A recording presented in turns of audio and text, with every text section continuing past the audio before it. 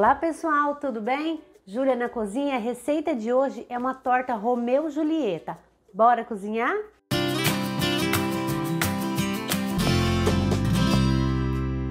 Bom pessoal, esses aqui são os nossos ingredientes e nós vamos começar pela massa da torta. Eu tenho aqui 200 gramas de bolacha maisena, esse biscoito aqui eu já dei uma triturada nela porque eu vou bater no liquidificador. Ela, ela é um pouco chatinha para bater aqui, mas ela vai virar uma farofinha. Então despeja tudo aqui. Eu vou bater, vou mostrar para vocês como fica.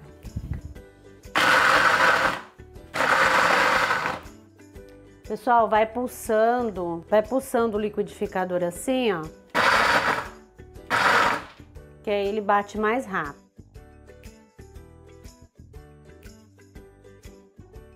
Eu abrir aqui ver se já triturou. Bom, já triturou tudo. Aí eu venho aqui. Tem alguns pedacinhos ainda maiores. A gente vai dar uma amassadinha neles. E agora a gente vem com a manteiga, manteiga ou margarina, ó. Deixei ela, dei uma derretidinha nela para ficar em temperatura ambiente.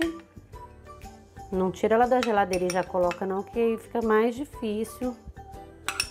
Aqui eu tenho 100 gramas de manteiga. A gente vai misturar até virar uma farofinha que a gente vai colocar na forma.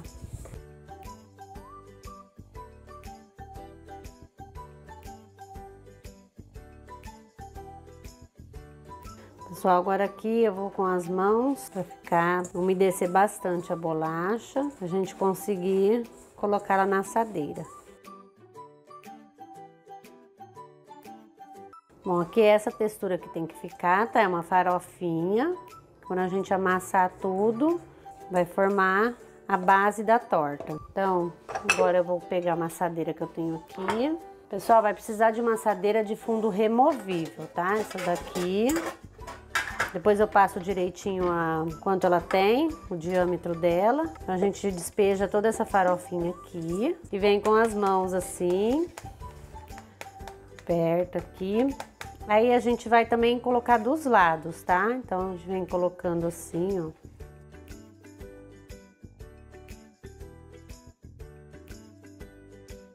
Ó, vai espalhando tudo aqui. Aperte bem, tá? Pra não ficar nenhum pedacinho sem. Essa aqui é a base da nossa torta. Ajeita sempre assim os ladinhos para ficar mais uniforme, tá? Bom, pessoal, já preenchi toda a assadeira aqui com a bolacha. Agora nós vamos bater a, o líquido aqui que vai em cima dessa bolacha. Aqui eu tenho ricota, eu tô usando ricota fresca, 300 gramas de ricota. Você pode usar também o queijo fresco, tá? O queijo de Minas, o queijo fresco. Eu vou colocar tudo isso na descrição do nosso vídeo. Tenho aqui dois ovos, meia xícara de açúcar. A minha xícara tem 200 ml, então a meia xícara de açúcar, uma caixinha de creme de leite. Essa torta fica super em conta e deliciosa, maravilhosa. E uma colher de sopa de amido de milho. Então agora é só bater esses ingredientes aqui.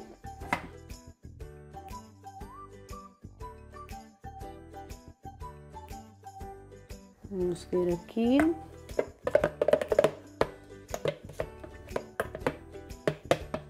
Prontinho. Tá pronta a nossa massinha que vai agora nessa torta, por aqui. Gente, vocês viram que rápido, né?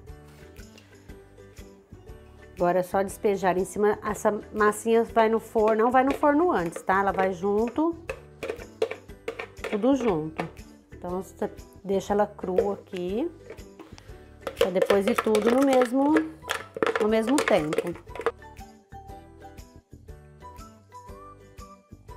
Então aqui agora espalha assim, vai levar ao forno Meu forno já tá pré-aquecido a 180 graus, tá? A gente vai deixar ali uns 20 minutinhos, depende de cada forno. Ou até dourar em cima. Eu vou falar para vocês quanto tempo ficou. Bom, pessoal, enquanto nós vamos para a próxima etapa da nossa torta, quero saber se você está gostando desse vídeo, dessa receitinha. Se sim, vai se inscreva aqui no nosso canal Cebola e Salsa. Não esquece de ativar o sininho, deixar o like, comentar, nos seguir nas redes sociais também Façam tudo isso para a gente crescer cada vez mais e eu mostrar para vocês o que eu amo fazer, que é cozinhar. Vamos para a próxima etapa? Bom, então para a próxima etapa eu estou utilizando aqui 300 gramas de goiabada. Vou picar assim bem rapidinho ela, porque ela vai no fogo para virar uma calda, tá? Então só picar assim para facilitar a hora de dela derreter. Enquanto nossa torta tá no forno. Aqui são 300 gramas de goiabada. Vou colocar aqui uma panela com uma xícara de água. E a gente vai ligar o fogo até derreter essa goiabada e eu mostro para vocês como que tem que ficar a textura dela. Bom, pessoal, aqui eu deixo em fogo baixo, tá?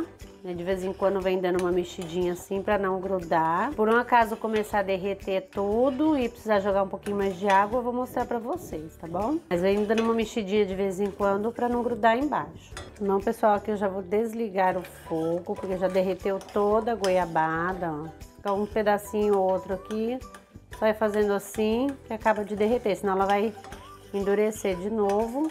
E a gente precisa de uma calda assim para jogar na torta. Então aqui agora deixa reserva, ela vai dar uma esfriadinha também.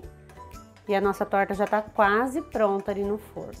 Bom, pessoal, depois de 20 minutinhos eu tirei, ó, vi que as bordinhas já estão bem douradinhas, pus a mão aqui, ele já ficou bem cozido.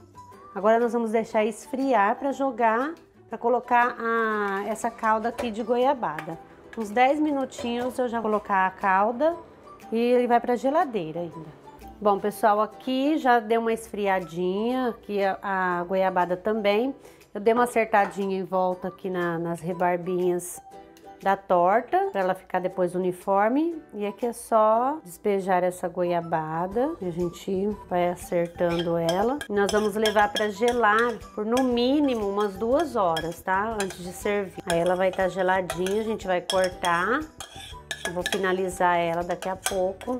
Aí vem assim com a colher, ajeita tudo até o final. Não tem problema que tenha a bolachinha ali do lado. Vai ficar bem linda. Gente, vocês viram que é fácil, né? Vocês nunca mais vão comer outra torta Romeu e Julieta. Vão sempre fazer essa sobremesa bem prática, econômica. Bom, então é isso. Agora nós vamos levar para a geladeira por no mínimo duas horas. Bom, pessoal, essa é a nossa receita pronta, a nossa torta Romeu e Julieta. Eu espero muito que vocês tenham gostado dessa receitinha. Eu vou cortá-la agora, que já ficou duas horas na geladeira. E olha que belezinha que fica. Opa, deixa eu pegar aqui certinho. Olha que lindo que fica essa sobremesa. Bom, pessoal, é isso. Se você não estiver inscrito no nosso canal, se inscreva, ative o sininho, deixe o like, comente e nos sigam nas redes sociais também.